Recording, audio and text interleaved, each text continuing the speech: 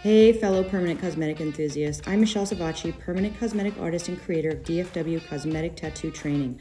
I've spent hundreds of hours creating an amazing foundation of education for aesthetic tattoo.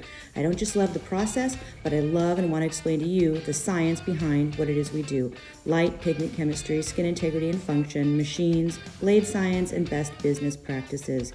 Join me with this next video, and I hope it helps you along your path to be the best artist you can be. Rods and cones. The two types of light sensitive cells located on the outer retina have different jobs. Rods are responsible for our perception of light and dark and our peripheral vision. Cones are what allow us to see color. They are found in the center of the retina where light is focused. Cones come in three varieties, each sensitive to a different range of light. Interestingly to note, we have more cones that are sensitive to red light, meaning our vision is best for warmer colors like reds, oranges, and yellows. However, our cones aren't sensitive to light with wavelengths shorter than 400 nanometers or longer than around 700 nanometers.